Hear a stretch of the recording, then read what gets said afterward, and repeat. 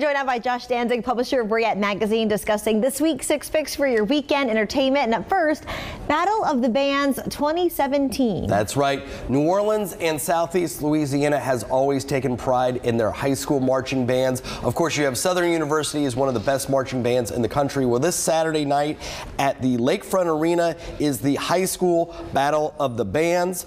Bands from 10 different schools will be competing for the title of the city's best marching band. They include schools like Edna Karr, McDonough 35, and the perennial favorite, St. Aug. You can buy tickets in the section of your favorite school if you wish by visiting the Ticketmaster website. Well, up next, another big fan favorite, Super Sunday. That's right. Traditionally, the day after St. Joseph's Day brings Super Sunday, the one day out of the year other than Mardi Gras Day when the Indi Mardi Gras Indians will show off their latest costumes. This Sunday will feature the Uptown route with the festivities kicking off at L.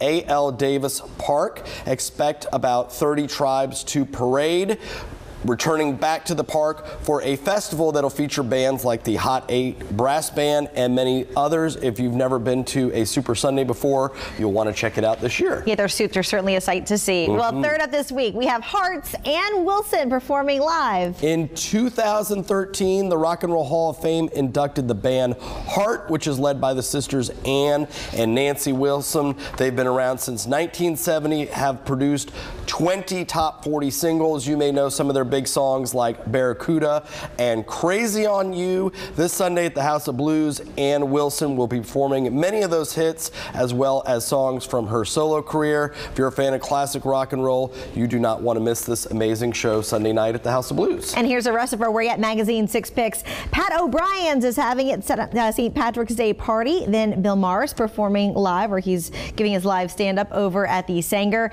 Then John Waters' This Filthy World will be at the Joy Theater. And if you want to find out more about these events, as always, you can log on to our website or pick up this month's edition of Where Y'at magazine.